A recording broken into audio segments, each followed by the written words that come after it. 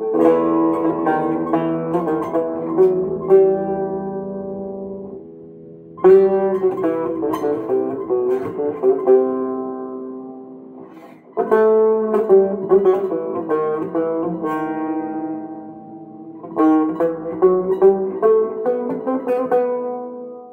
ucuna su bırak diye bir mektup aldım senden.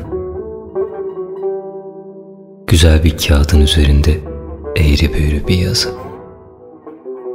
Zaten hep süssüz, sert ve eğri büğrüydü yazın.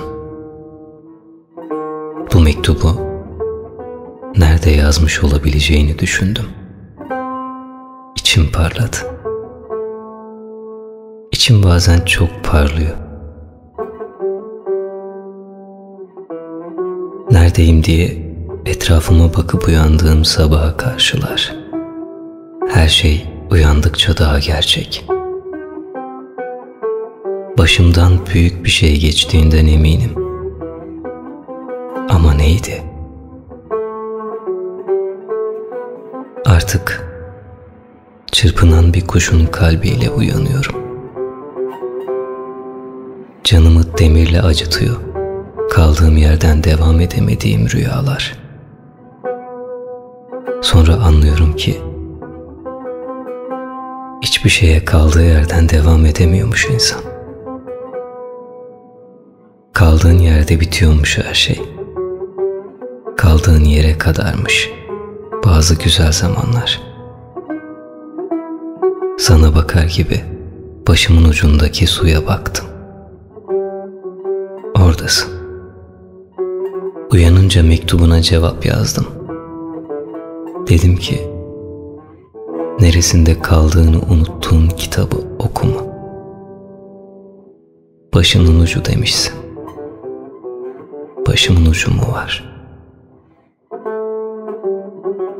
Cebimde firketeli nazar boncuğu. Her şeyinin çok sahibi insanlarla kaybetmek üzerine konuşuyoruz. Elim pantolonumun küçük cebine gidiyor.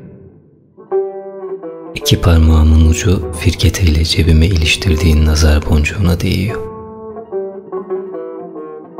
Neden bir türlü kaybolmuyor bazı şeylerde? Kaybolmasın diye özenle sakladığı şeylerin yerini unutuyor insan. Soğutmam lazım bu anı. Soğutmam lazım içimi. Ama neyle? Ama kimle? Epeydir bir şeyin yanından geçmedim ben. Yanımdan ne geçerse o. Hızla değişen görüntülerin içinde duran, artık çalışmayan bir şey gibi. Bir şey gibi. Tuhaf. Başımın içinde çalışan tek bir yer var. Başımın içinde çalışan yer, unutmam gereken tek yer. İpliği diyordun. Her şey elime büyük geliyor. Herkes yanıma uzun. Bütün bunları unutmak için artık eve kendimden önce gitmem şart.''